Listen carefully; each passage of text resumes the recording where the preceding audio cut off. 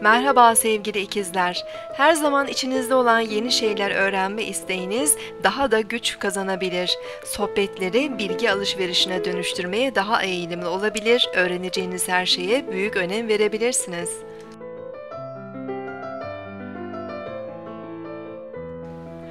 Bugün 14 Temmuz 2014 Pazartesi. Ay günündeyiz. Kova burcunda ilerleyen ay güne bağımsız ve idealist enerjiler veriyor.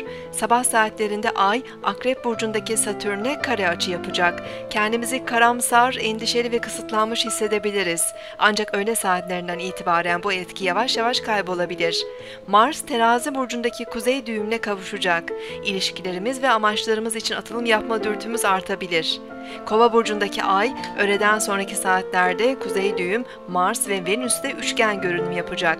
Bugün yapacağımız girişimler ve kuracağımız ilişkiler bizim için yol gösterici ve destekleyici olabilir. Ay akşam 22-23'te boşluğa girecek.